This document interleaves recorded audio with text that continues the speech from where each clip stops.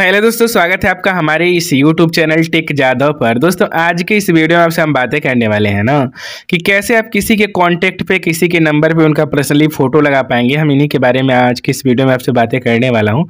Video थोड़ी सी भी अच्छी लग जाए तो इस वीडियो को लाइक और चैनल को सब्सक्राइब ज़रूर करके जाएगा क्योंकि रोज़ाना हम आपके लिए इसी तरह की नई नई वीडियो लेकर आया करते हैं। चलिए दोस्तों, आगे बढ़ चलते हैं और पूरी बातें सीख लेते हैं कि किसी के कॉन्टैक्ट पर हम कैसे फ़ोन नंबर लगाते हैं फ़ोटो लगाते हैं। क्या प्रोसेस है, आपको बताता हूँ। हम अपने डायलर में जाते हैं और यहाँ पर एक नंबर मुझे देखने को मिल रहा है फ़र्स्ट पे, इनके नंबर को मान लीजिए। आप या तो यदि आपका सेव्ड नंबर है तो सेव्ड नंबर भी ले सकते हैं, ठीक है? जैसे मेरा एक नंबर सेव है हेल्प के नाम से, ठीक है? आपका भी इस तरह से बहुत सारा नंबर सेव होगा और सेव होने के बाद इसके सामने एक तीर दिखती है। इस तीर पे आपको क्लिक कर देना है, ठीक है? तीर पे क्लिक करिएगा नंबर पे क्लिक करिएगा तो आपके सामने ऐसा ऑप्शन आता है। हो सकता है आपको यहाँ पे कहीं पेंसिल का आइकन दिख जाए। या तो थ्री डॉट पे क्लिक करेंगे तो एडिट का ऑप्शन आ जाएगा। या तो यहाँ पे एडिट कॉन्टैक्ट पे जाएँगे, ठीक है?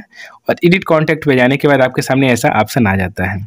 ऊपर की साइड एक इमोजी या इस तरह से कॉन्टैक्ट का लोगो बना रहता है, इस पर आपको क्लिक करना है।